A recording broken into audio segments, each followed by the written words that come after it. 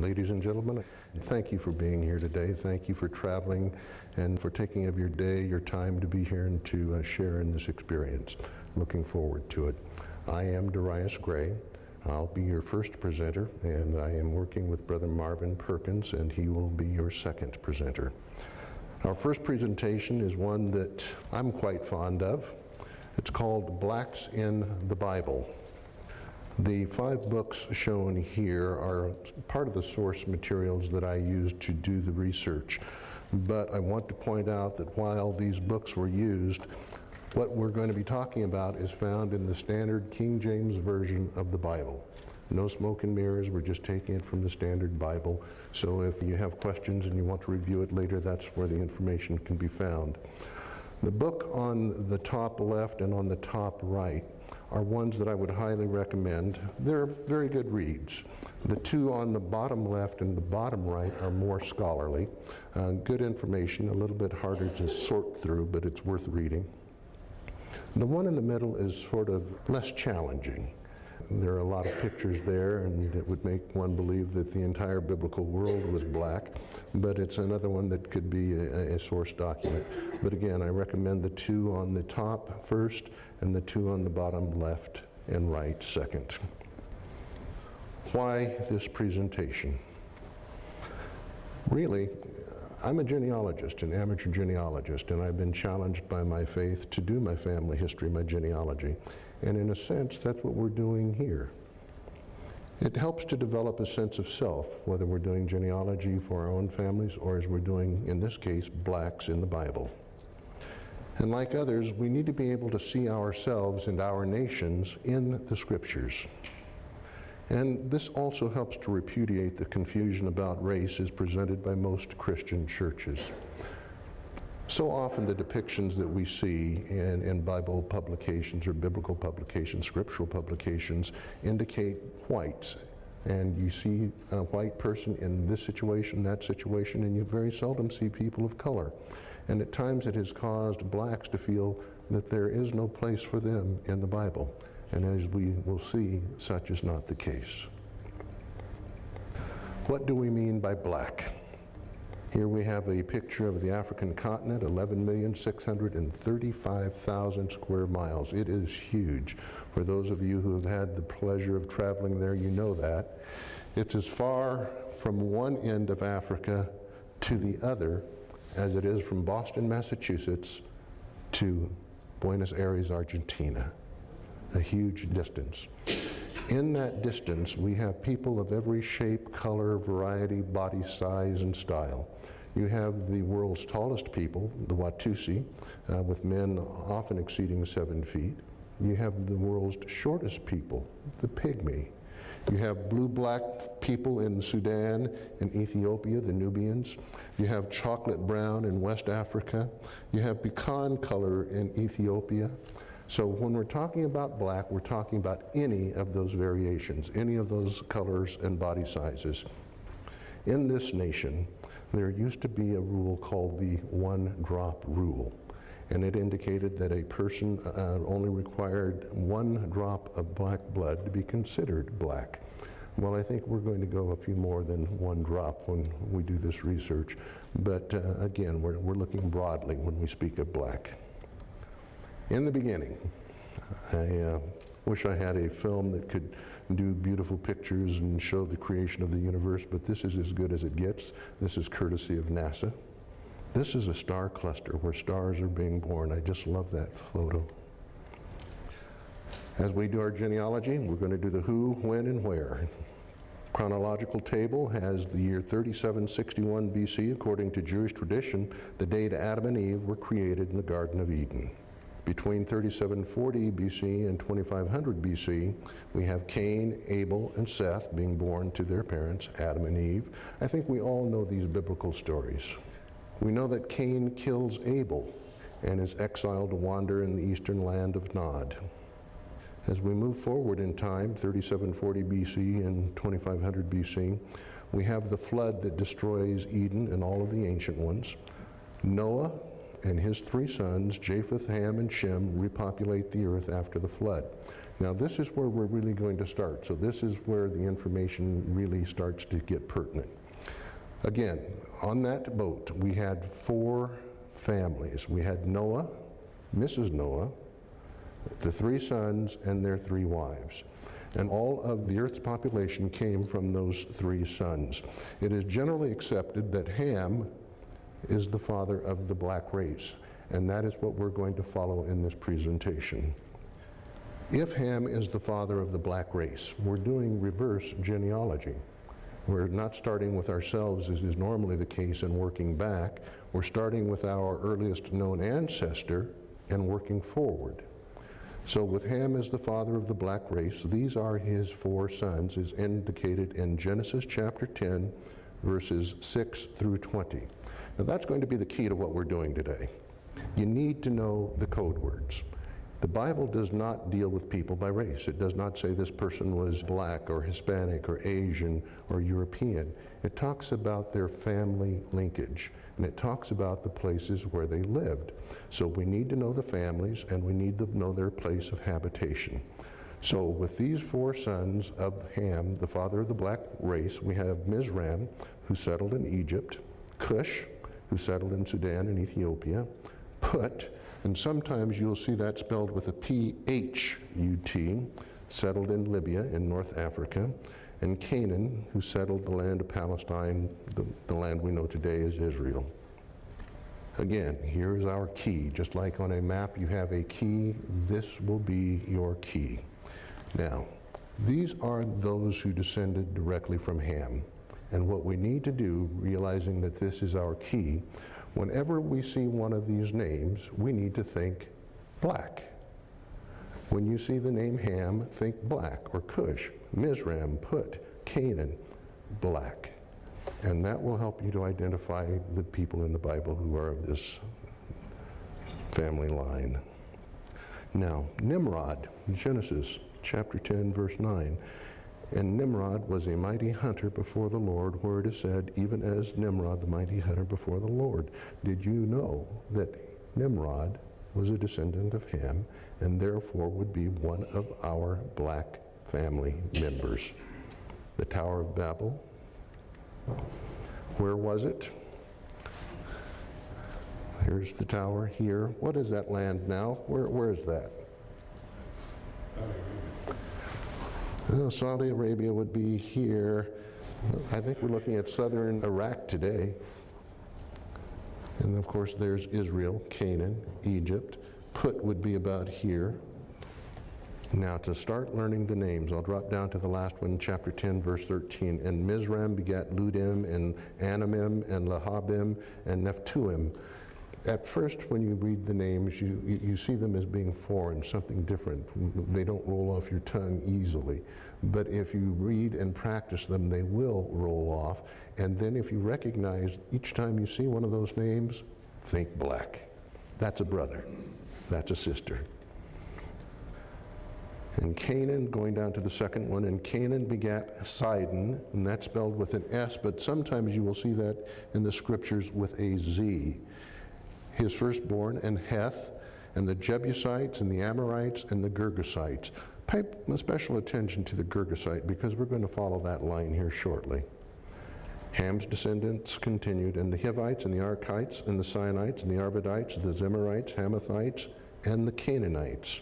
And just to make sure that we understand that this is Ham's family tree, God has provided in his scriptures down in verse 20, the last of the verses here, these are the sons of Ham, after their families, after their tongues, in their countries, and in their nations.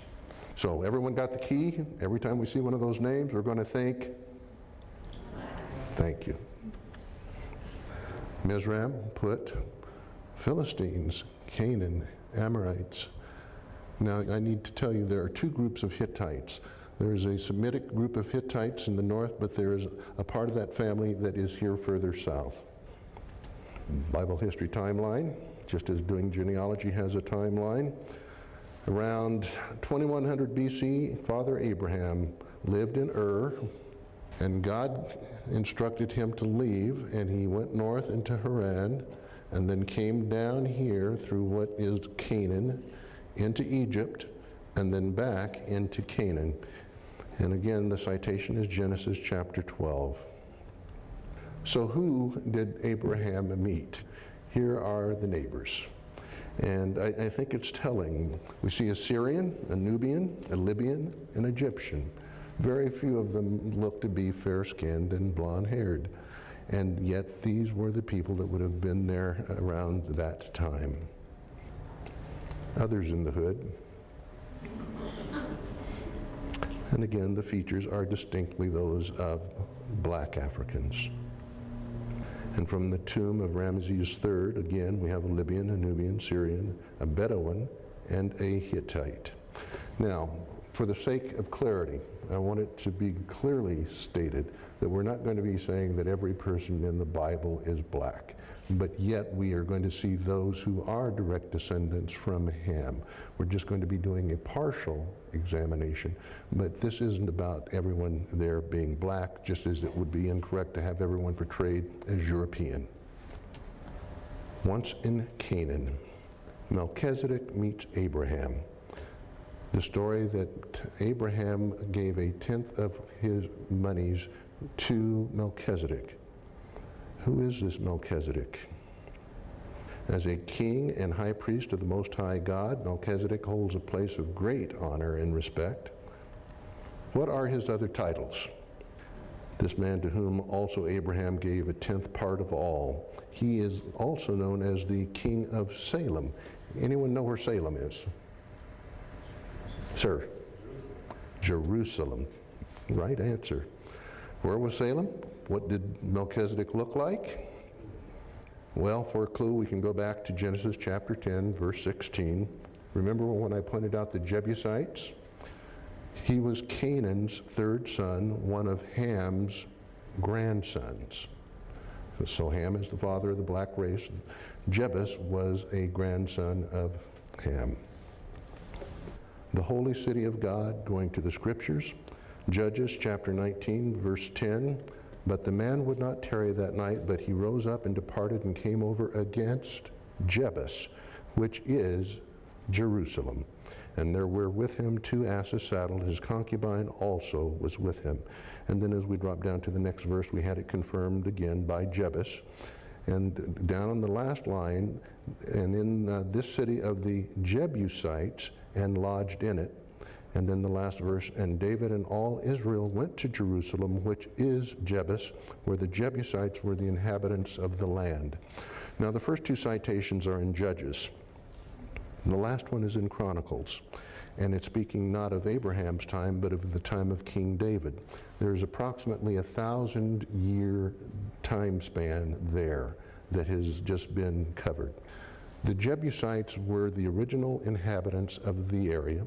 They were the first builders of the city of Jerusalem, Salem. It was a fortress city, it was on a, a rocky outcrop, and it could not be easily attacked. And the Jebusites were able to stay in control of that area for a thousand years. It wasn't until the time of King David that they were finally routed. So during the time of Father Abraham, the Jebusites would have been in control of the area. So, what did Melchizedek look like?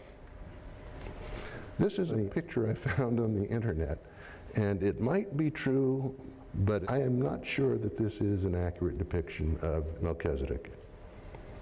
Now, I also want to pause and say, am I saying then that Melchizedek was black? No, but I am saying he was hanging with the brothers because he was in that city that was a black city. We have Abraham and Sarah.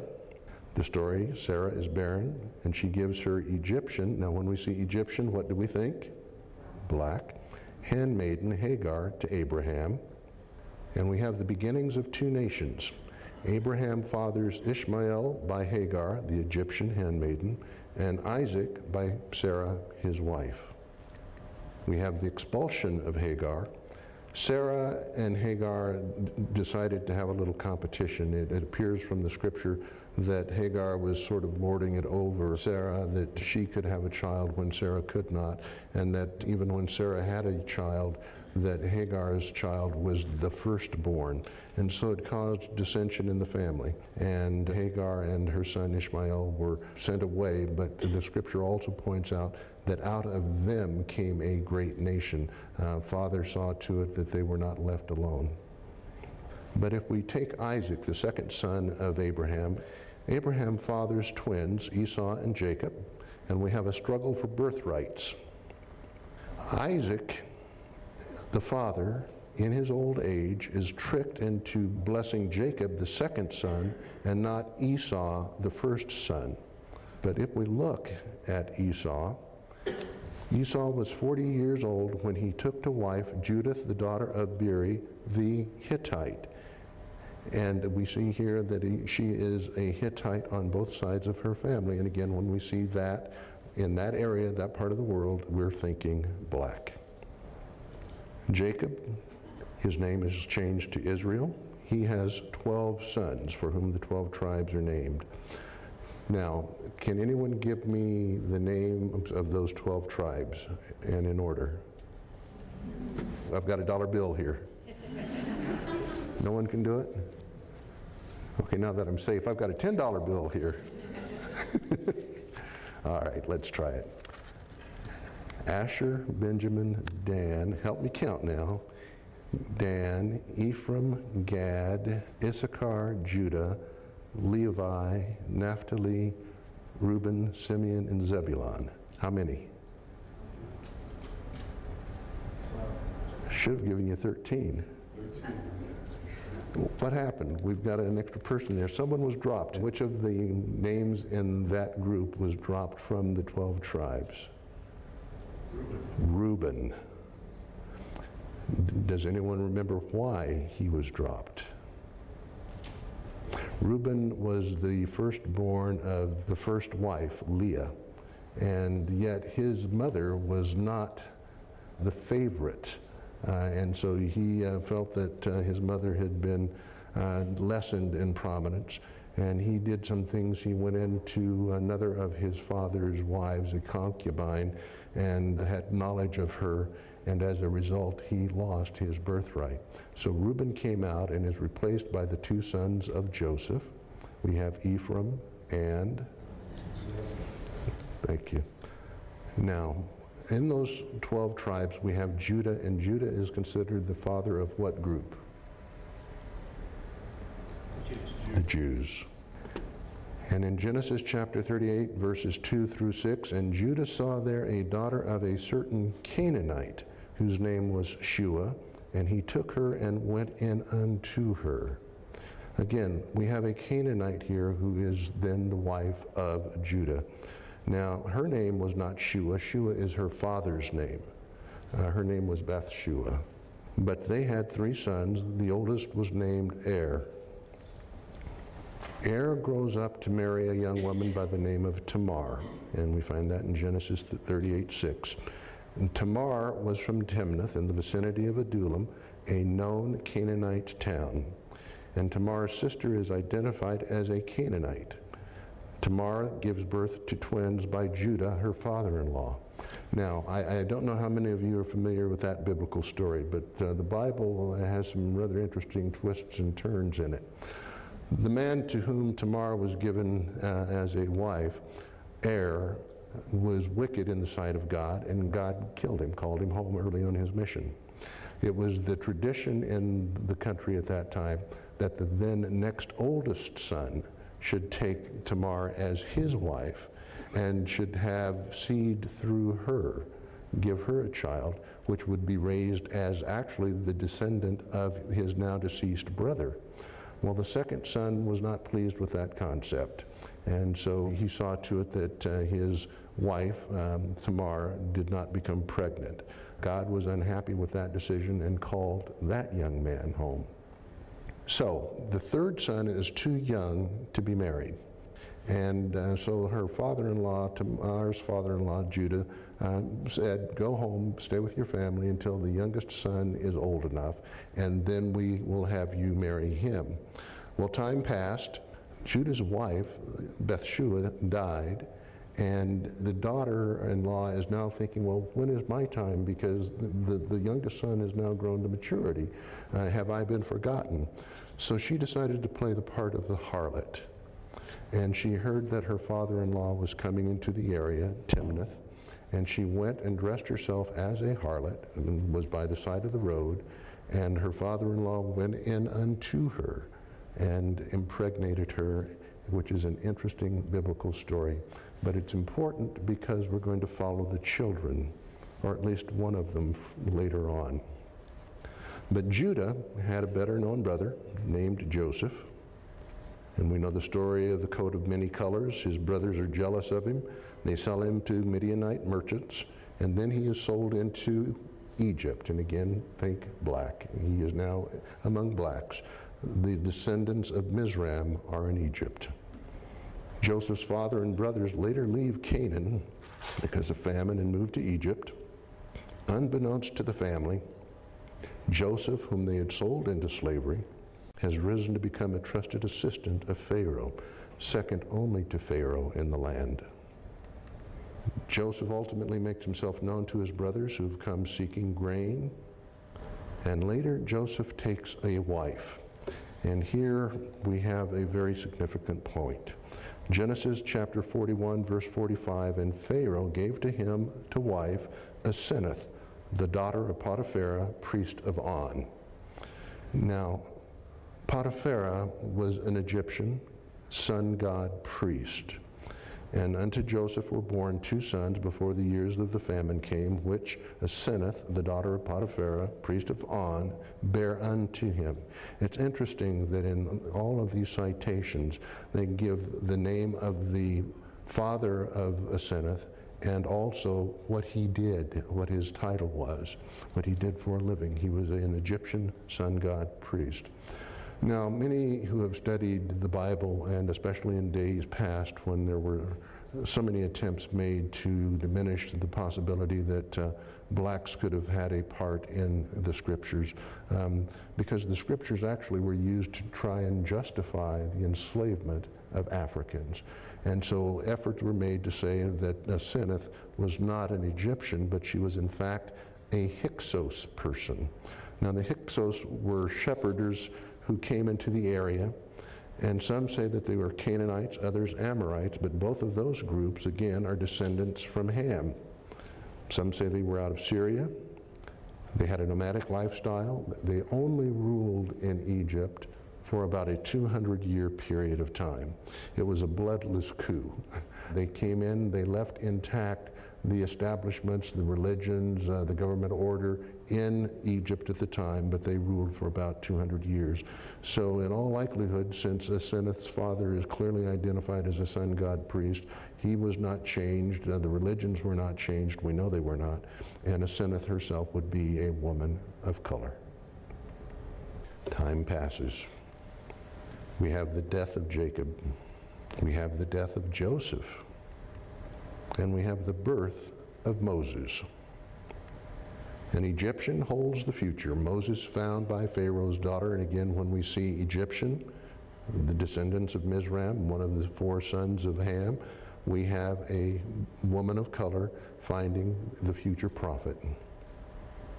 We have the Exodus after being enslaved for 400 years, led by Moses. The Jews leave Egypt and head toward the land of Canaan, which is to become Israel. They wander in the desert for 40 years. During those years, Moses marries Zipporah, the daughter of Jethro, the priest of Midian. Now, which wife? While Zipporah is clearly mentioned as Moses' wife, the name of the woman spoken of in Numbers 12, 1 is not given. However, God's attitude towards that woman is quite clear. And let me share that with you because it's very significant. In the lead into the chapter, it says Aaron and Miriam, that's Moses' brother and sister, complained against Moses, the most meek of all men. The Lord promises to speak to Moses mouth to mouth and to reveal to him his similitude. Miriam becomes leprous for a week. What we have here, reading the first verse, and Miriam and Aaron spoke against Moses because of the Ethiopian woman whom he had married. For he had married an Ethiopian woman. Now, if you didn't get it the first time, this woman is an Ethiopian. And they said, Hath the Lord indeed spoken only by Moses? Has he not spoken also by us? And the Lord heard it. They're jealous of their brother. They're jealous that the Lord speaks to him mouth to mouth. They want to have a part of the, the glory. But what they do is take it out on Moses' wife, and they speak against her because of her ethnicity, because she was an Ethiopian woman. I don't believe this to be Zipporah. I believe this to be a, another wife that Moses had. But what we do know, without having clarity on that, is how God responded.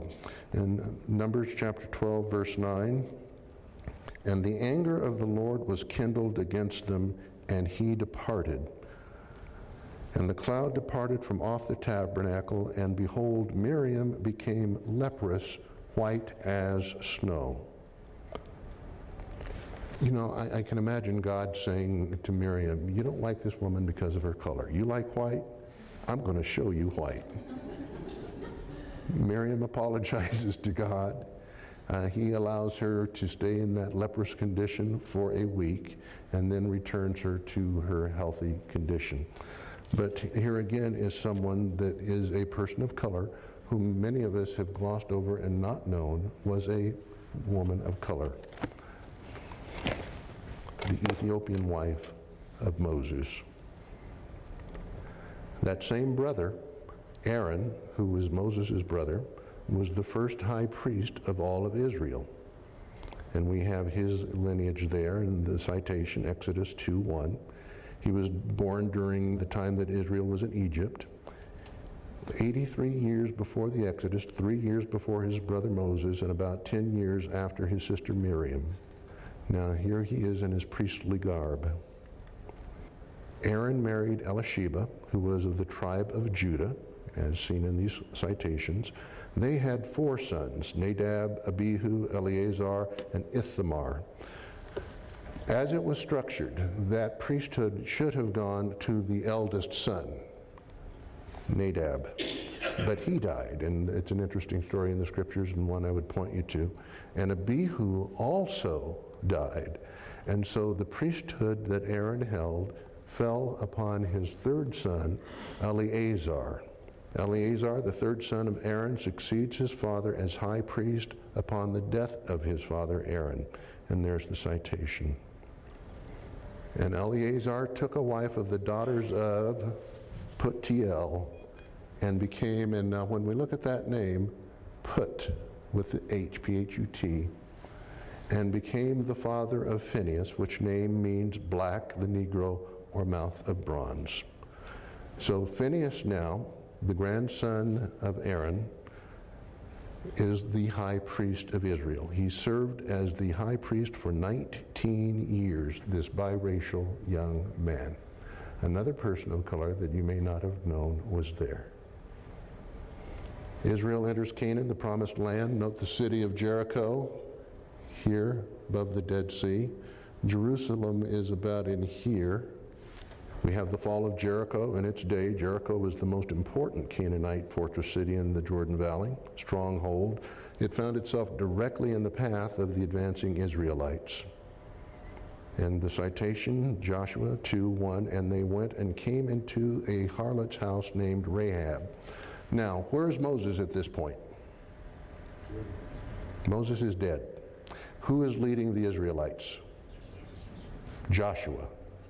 And Joshua is a military man, and he wants to know the lay of the land.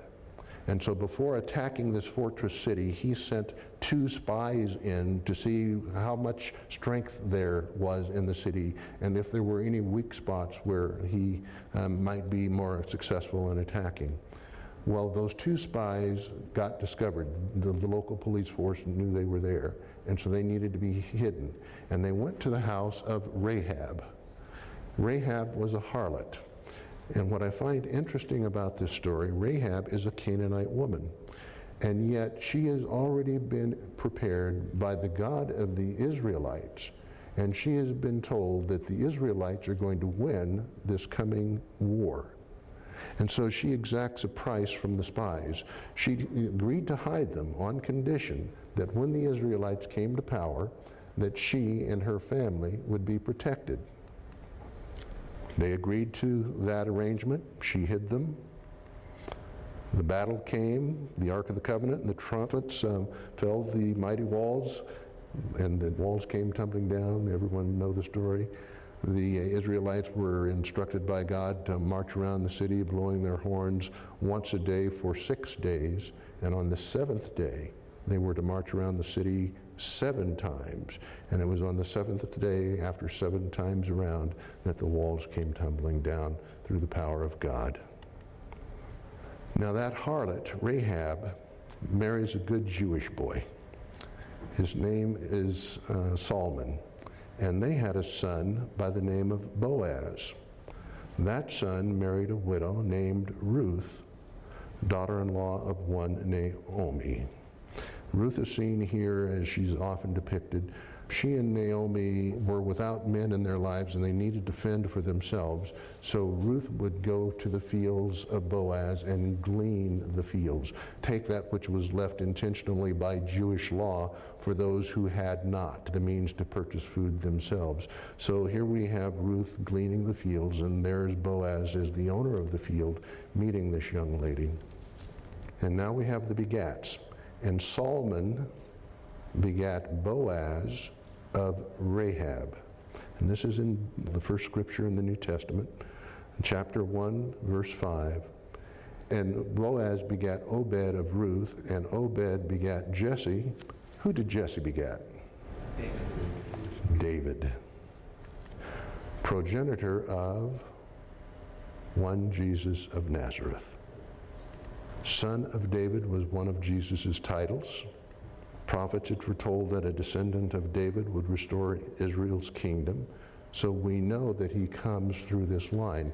Now, when we're looking at this in the book of Matthew, some have contended, well, this is not the uh, genealogy for, you know, the real father of Jesus. This is the genealogy for Joseph, whom we as Christians believe was not the literal father of Jesus. And that indeed may be the case. However, what we do know also is that Joseph and his wife Mary were cousins. And so they share the same Davidic line. So the same genealogy history that would apply to Joseph applies to Mary. So this is the genealogy of the parent, Mary, of Jesus.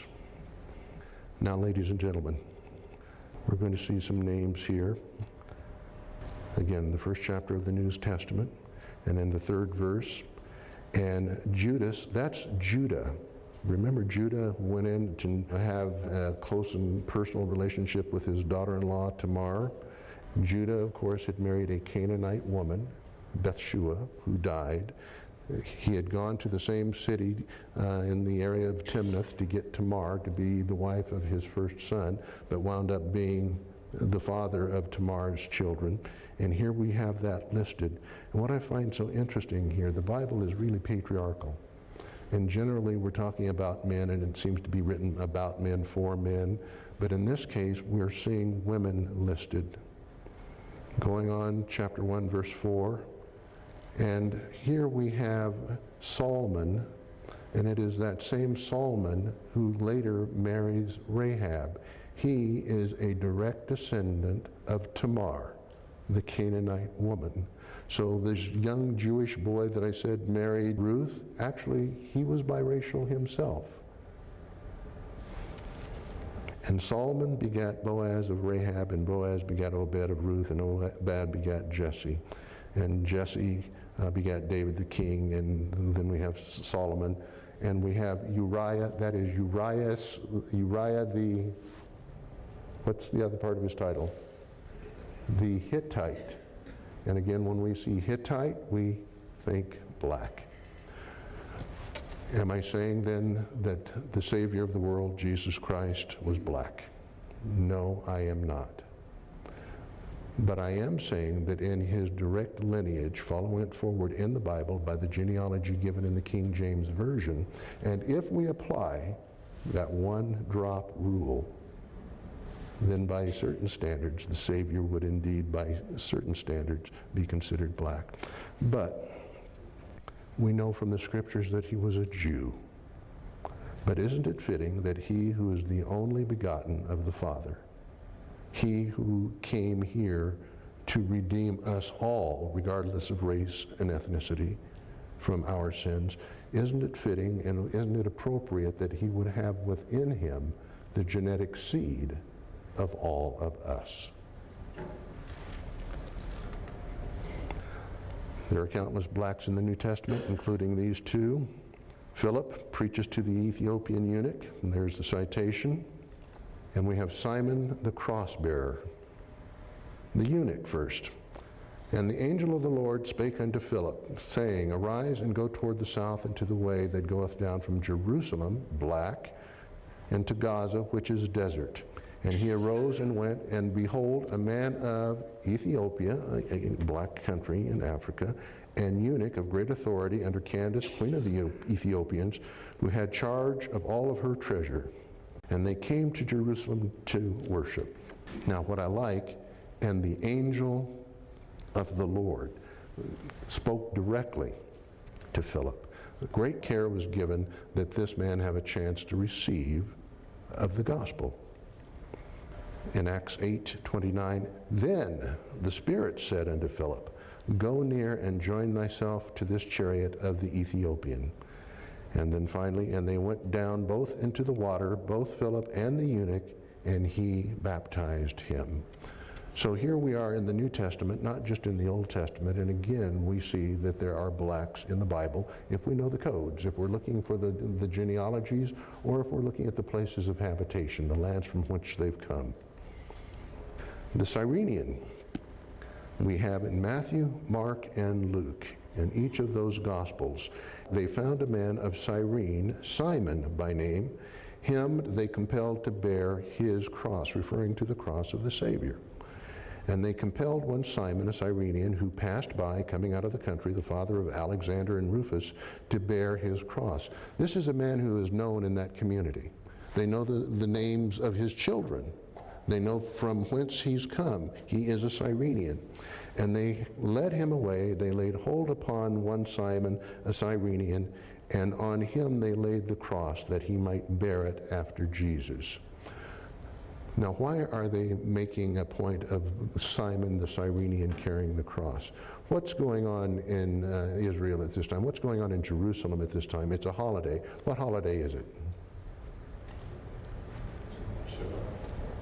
Passover. Passover. In Jewish tradition, you needed to be ritually clean to participate in the Passover celebration. And one of the things that you could not do is touch anything dead, unclean, or about to be dead, as in condemned to death to be crucified on the cross. So the Romans, in respect for that Jewish tradition, laid hold upon a man who was a non Jew, Simon, a Cyrenian, who happened to be there, and him they compelled to bear the cross. Now, where is Cyrenia? Here's Egypt, there's Israel. Remember Put, one of the sons of Ham?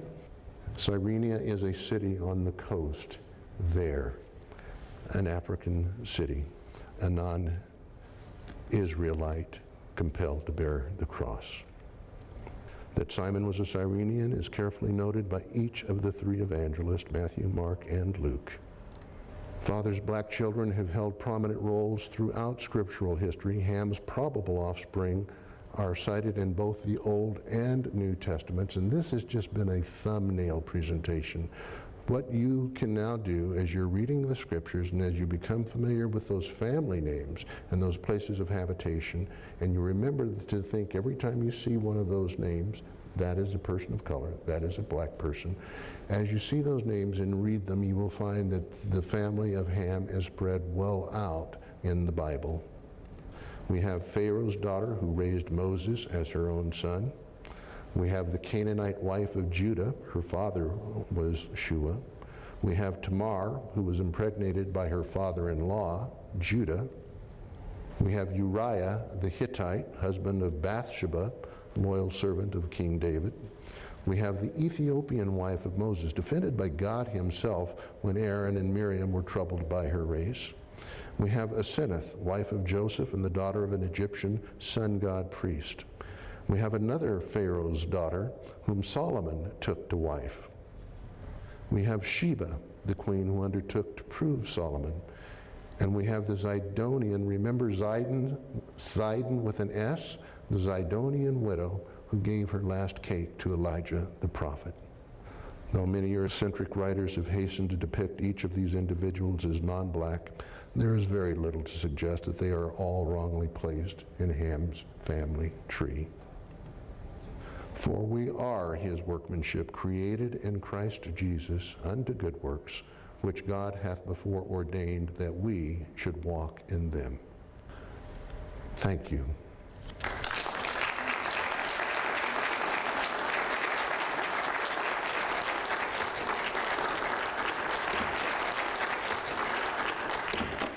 Now, I know that was fast paced, but the principle is to learn the names and then to go forward and to do the search.